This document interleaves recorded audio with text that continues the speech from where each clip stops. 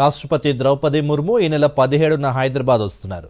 Dundigal air force అకాడమీలో రెండు వందల పదకొండవ కోర్స్ కంబైన్డ్ గ్రాడ్యుయేషన్ పరేడ్లో ఆమె పాల్గొంటారు.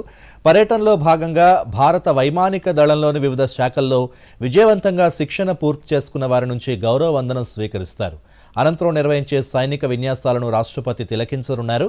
Indian air force service cadre ఆఫీసర్ల నుండి క్యాడెట్లకు శిక్షణ ఇచ్చేందుకు ఈ అకాడమీని ఏర్పాటు చేశారు. ఇది ఫ్లయింగ్ టెక్నికల్ గ్రౌండ్ డ్యూటీ బ్రాంచ్లతో పాటు Indian navy and Indian coast guard అధికారులకు శిక్షణ ఇస్తుంది పంతొమ్మిది వందల తొంభై మూడు జూన్లో మొదటిసారిగా మహిళా క్యాడెట్లను ఐఏఎఫ్లోకి చేర్చారు.